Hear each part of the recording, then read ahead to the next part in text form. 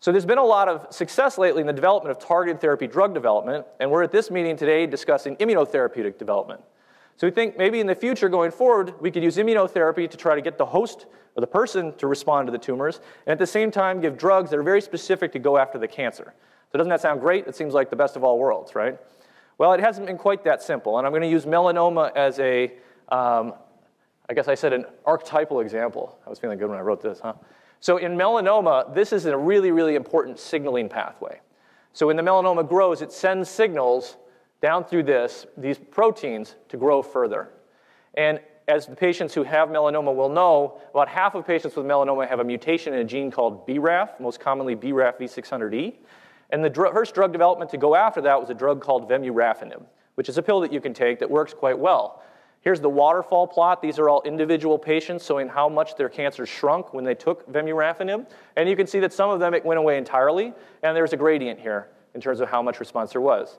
Now, unfortunately, the median progression-free survival, or how long this works, is on average about six months, six to seven months. And even with next generation approaches, it's about 10 months. So that's somewhat in contrast to the immunotherapeutic approaches that we saw earlier, where the response rates maybe aren't quite as high, but you have the potential to induce a long-term response. So wouldn't it be great? Give the drug, shrink it, give immunotherapy, lengthen it.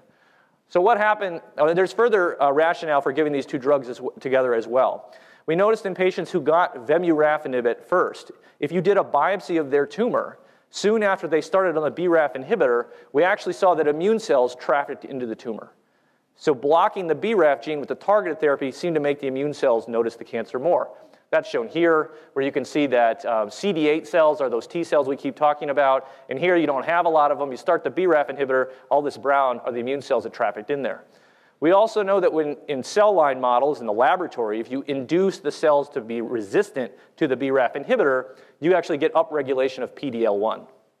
So there's definitely crosstalk between these pathways that we target with targeted therapies and these immunotherapeutic approaches for cancer. So again, it seems like a no-brainer that we would combine these. Unfortunately, it wasn't that simple. So the first phase one trial that tried to combine ipilimumab with vemurafenib had to be closed because the patients developed liver toxicity. And this is the, from the um, report in the New England, Medical, uh, New England Journal of Medicine, essentially outlining that patients' liver enzymes went up quite high pretty fast after getting the two drugs together. So was this an ipilimumab problem? Was this a BRAF inhibitor problem? Well, we're not really sure. There's been a further trial done combining dabrafenib and trametinib and ipilimumab. And for those who know that with melanoma, this is the standard BRAF approach now. But this trial had to be closed for colonic perforations.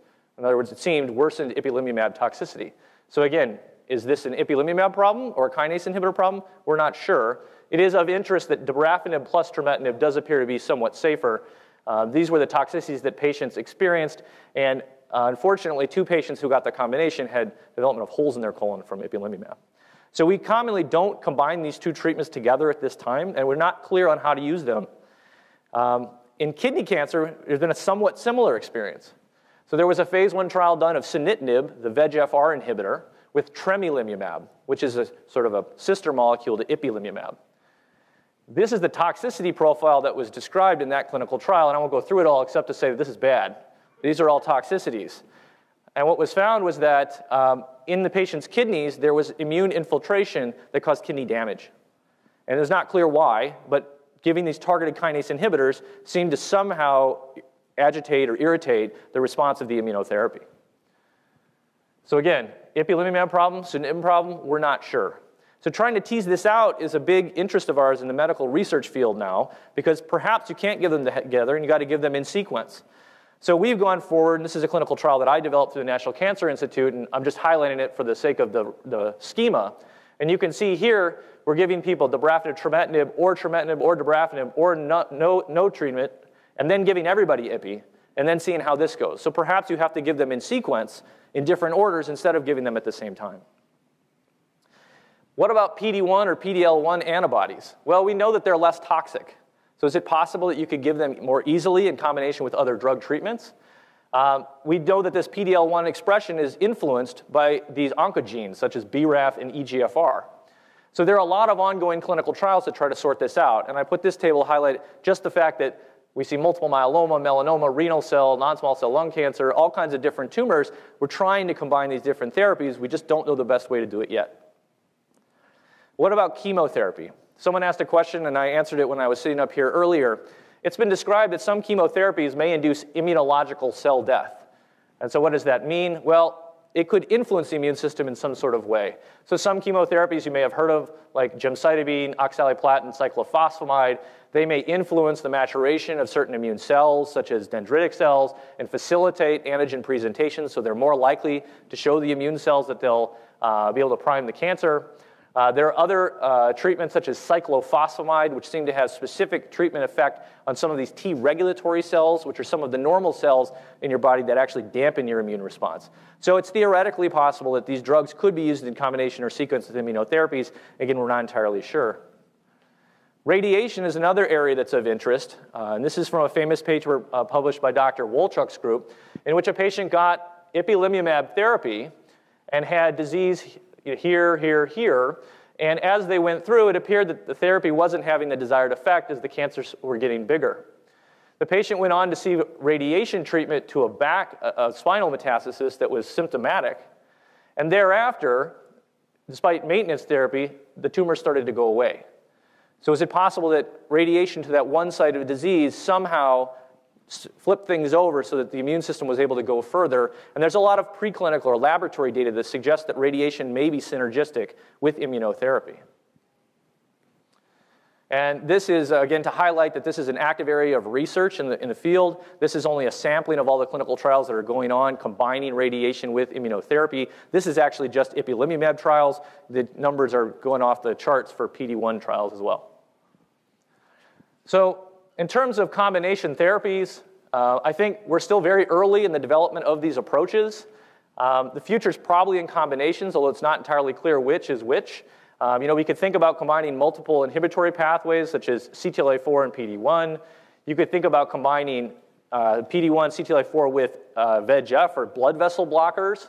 You could combine it with vaccines or other immune stimulants, with radiation, with chemotherapies, and finally, with adoptive T cell transfer, or CAR T cells, those cells I alluded to, which have already been sort of designed to be able to go and find the cancer. So very quickly at the end, I'm just going to try to uh, discuss quickly. Someone asked a question about which, uh, can we predict who is likely to benefit from treatment with immunotherapy? And I was a little um, I, I sort of hedged on you there, and I said, I, I don't really know. Well, I'm going to show you sort of some information that suggests that we know a little bit, but not enough yet to really tell us exactly what to do. Some of those areas are evaluating some of the other immune cells, such as the uh, absolute lymphocyte count, looking in the tumor microenvironment to see if there are factors there that would suggest to us whether or not this is going to work, the PD-L1 status, and whether or not, just globally speaking, it looks like the tumor has been recognized or not. So these are data uh, from Sloan Kettering and then from a, a, a a joint effort that we had when I was at the Dana-Farber, looking at patients who are treated with ipilimumab, and it's quite clear that patients um, who have a higher absolute lymphocyte count after seven weeks of treatment appear to have a better outcome. This needs to be validated in larger data sets, uh, but it is of some interest. There are a number of factors in the tumor microenvironment that potentially uh, influence the activity. I'm not going to read all of these. I put them up there just to suggest to you that we're working on this and are things that we can find. The problem is that these are easier and more difficult to actually look at. I'm going to highlight 2,3 uh, indoleamine dioxygenase, which is an enzyme that can be secreted in the microenvironment. And suffice it to say, this is an important enzyme that uh, works on T cell uh, activity, uh, and it's expressed in a number of different uh, tissues. A drug has been developed to try to block this enzyme that's called IDO. That drug is called indoximod. And there was a clinical trial done of combining it with ipilimumab. And I just show here that this shows that this seems to make ipilimumab work better in combining it with this. So perhaps we can learn by looking in the tumor what other factors we could add in. What about the PD-1 status? You heard about this already. We heard earlier that PD-L1 uh, positivity co-localizes with immune cells that can get to the cancer but can't really figure out how to kill it. And I'll just highlight that in the trials so far, we've seen that patients who are PD-L1 negative, so patients who don't have expression, expression can still have RECIST responses, meaning more than 30% tumor shrinkage. And that was from the Genentech antibody. This is from the Merck antibody, where I highlight that these are patients who have significant benefit from the drug where the biomarker is negative. So it's clearly not a good biomarker yet. Um, it is, however, predictive that it's more likely that you will benefit if it's present, but it shouldn't be used as a selection factor prior to treatment at this time. And finally, I'll just state that perhaps we need a more global profile of the tumor. We, you know, we've talked quite a bit about whether or not the tumor cell gets recognized. And if we see in the tumor that there are a lot of immune cells and all these other properties, it can suggest to us that this treatment might work. If they don't have this, perhaps that means we should try a different treatment. And we're working on ways to be able to identify that at this time. So, in conclusion, at the current time, it's not clear exactly when the best time to give immunotherapy would be, and there are different um, uh, hypotheses as to why one might be better than another. This actually could be different between different types of immunotherapy, as well as the specific circumstances of the patient. Um, we're developing predictive factors of treatment success, so we call them biomarkers, and they'll be very important in helping to determine which treatment to get next. And finally, I just want to emphasize that despite all of this great uh, achievement and all of these advances that we've talked about today, clinical trials are essential to better understand which approach is best for patients at which time in their treatment. Thank you very much.